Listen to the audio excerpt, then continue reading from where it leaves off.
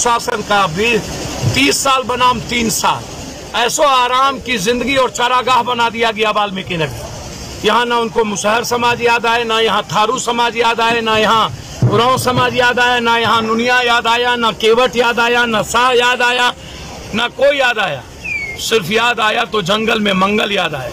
इन नेताओं के लिए ऐसो आराम और चारागाह का ये इस्तेमाल करने का जगह है। इन माफिया, गन्ना माफिया और एक मालिक मिल करके जिस तरीके से पूरे वाल्मीकि नगर के किसानों की ज़िंदगी तबाह कर दी। हम किसानों की आज़ादी के लिए आए और बाढ़ से मुक्ति की आज़ादी के लिए आए।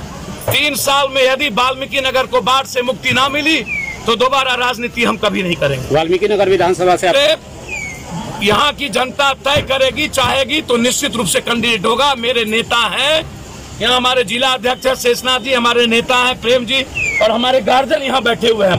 गौरव जी से लेकर के आगे में जितने गार्जियन इनका जो आदेश होगा उसको पालन करूँगा।